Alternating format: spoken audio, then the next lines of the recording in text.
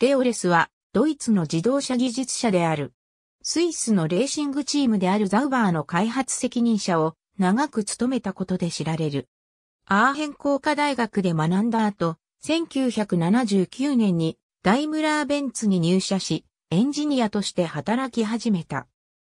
1980年に発表されたグループ C 企画は、当時サーキットにおけるレース活動を行っていなかったダイムラーベンツ社のエンジニアの間でも大きな話題となり、レスは同社の空力専門家であるルディガー・フォールら有志と共に業務外の趣味の活動としてグループ C カーの設計図を完成させた。1981年初めに完成したこの設計図はやがてグループ C 車両の開発を計画していたザウバーとレスらを結びつけることになり、レスらは同年夏からザウバーへの協力を始めた。レスはザウバー初のグループ C カーである SHSC6 の開発を助けた後、1983年用の C7 では設計の中心的な役割を担った。レスはフォールラと同様、ザウバーの仕事はあくまで余暇を利用した手伝いの範疇で行っており、ダイムラーベンツに所属し続けていたが、1983年に BMW に移った。この時期のザウバーの車両は、ルマン24時間レースでも結果は出なかったが、フォールやダイムラーベンツ取締役のベルナー・ブライト・シュベルトの尽力もあって、1985年からは、ザウバーはメルセデス・ベンツエンジンを非公式に搭載することになった。ザウバー・メルセデス・ザウバー C8 メルセデス・ベンツエンジンを搭載するため、レスは C7 を手直しする形で1985年用車両としてザウバー C8 を開発した。同時にフルタイムのデザイナーを必要としたペーター・ザウバーから誘われ、1985年には BMW からザウバーに移り、正式にチームの一員となった。完成した C8 はトラブルに悩まされ、1985年のルマン24時間レースでは練習走行で宙を舞う事故を起こし、チームは危険を余儀なくされた。翌年は改良を施した C8 で世界スポーツプロトタイプカー選手権に臨んだ。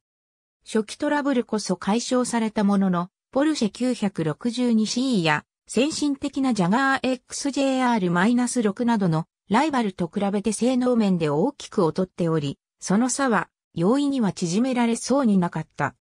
そんな中、同年8月のニュルブルクリンク 1000km では、雨のレースで他チームが棄権したことと、C8 を狩るマイク・サックウェルの力走もあって、ザウバー・メルセデスは初勝利を手にした。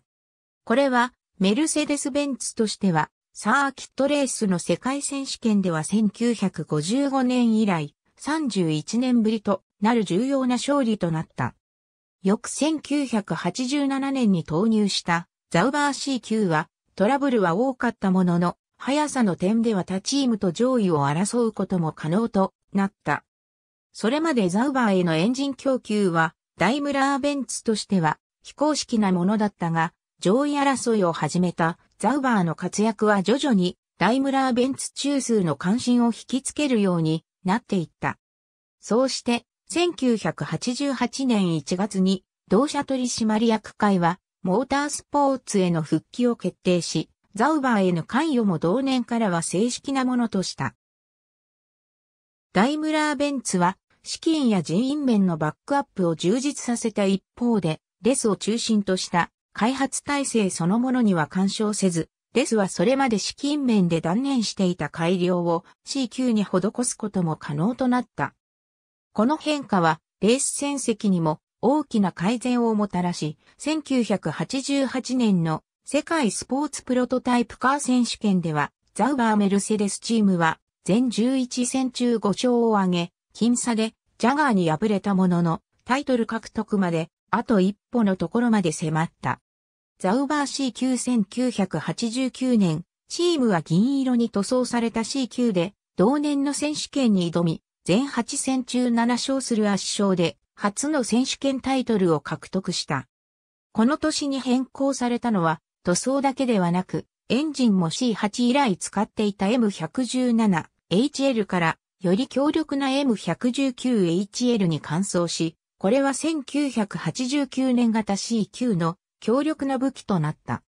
レスは選手権のレース距離 500km 弱の短距離レースで優位性があることは前年に自信を持っていたため、この年はルマン用のローダウンフォース仕様の開発に重点的に取り組んだ。それもあって C 級はこの年のルマン24時間レースも席巻し、1から2フィニッシュで制覇した。翌1990年、レスは C 級以前で予算の制約から断念していたカーボンモノコックなどの新機軸を取り入れ、完全な新型車であるメルセデス・ベンツ C11 を完成させた。同車は完全なワークス体制下で開発された車両で、空力面などについて、ダイムラーベンツからの知見や協力を得て開発された。C11 を要したザウバーメルセデスは前年に遜色のない圧衝撃を繰り返し、この年の全球戦中8勝を収め、5回の1から2フィニッシュを遂げた。レスは1991年に向けてメルセデス・ベンツ C291 を開発したが、バンク角180度の V 型12気筒の M291 エンジンを採用したことで、多くのトラブルに悩まされることとなり、チームは低迷した。レスは雪辱を期して C292 の開発を進めたが、ダイムラーベンツの経営上の事情により、1991年をもってメルセデス・ベンツはスポーツカーレースから撤退した。ザウバー C121991 年当時、メルセデス・ベンツは、ザウバーと共にスポーツカー世界選手権を戦うのと並行して、フルワークスチームによる F1 参戦に向けた計画を進めていた。そのために、ザウバーには、ハーベイ・ポスルスウェイト、マイク・ガスコインといった現役の F1 デザイナーたちが合流し、レスはテクニカルディレクターとなったポスルスウェイトの下でその計画に参画した。1991年末でメルセデス・ベンツが F1 参戦を断念したため、ポスルスエイトらは去ったが、レスはポスルスエイトが残した設計をもとに F1 車両の開発を進めた。ザウバーは単独での F1 参戦にこぎつけ、レスが設計したザウバー C12 は1993年の F1 世界選手権を戦った。当時はアクティブサスペンションなどのハイテク装備が全盛だったが、レスは同車にトラクションコントロールやセミオートマチックトランスミッションこそ搭載したものの、アクティブサスペンションまでは採用せず、シンプルな車両として仕上げた。F1 参戦にあたって、技術面の主任であるテクニカルディレクターの地位は、スティーブ・ニコルズ、ついでアンドレ・デ・コルタンツが占めたが、この間、レスは、チーフデザイナーとして設計の中心的な役割を担った。デコルタンツの離脱後、レスは同チームのテクニカルディレクターに就任した。ザウバー C17-1990 年代後半のザウバーはペトロナス、レッドブルといった安定したスポンサーを抱え、資金面では潤沢とまでは言えないまでも、中堅チームとしては経営面は比較的安定していた。しかしながら、エンジニアの出入りは激しく、エンジニアリング面ではかなり保守的で、オーソドックスな方針を毎年取り続け、注意の下のポジションから抜け出せないシーズンを数年にわたって送った。レスは2000年にテクニカルディレクターの地位をウィリー・ランプに譲った。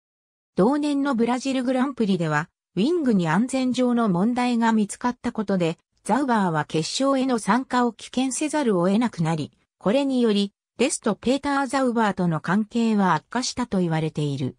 レスはその後も研究開発部門の責任者としてチームに留まったが、2002年末にチームを去った。2003年1月にホンダレーシングディベロップメントにコンサルタントとして加わり、BAR、ついでホンダ F1 の車両開発に関わった。2008年限りで、ホンダが F1 から撤退したため、その後は引退するまでの間、パワートレインのエンジニアリング会社大手である ABL で働いた。1990年代後半にザウバーで同僚だった後藤治は、レスは車作りの思想が明確な人だったと評している。1999年末にザウバーに加入してチーフデザイナーとしてレスの下についたセルジュ・リンランドとは関係に問題があったのではないかという見解もあるが、リンランド本人はレスとは考え方に共通点も多く、とても良い仕事仲間だったと述べており、当初テクニカルディレクターだったレスが開発の中心から外されたことは、リンランドが2001年初めという早期にザウバーを離脱した理由の一つになったと語っている。レス自身はエンジニアとして働くのが好きで管理職としての仕事には魅力を感じなかったと述べている。ありがとうございます。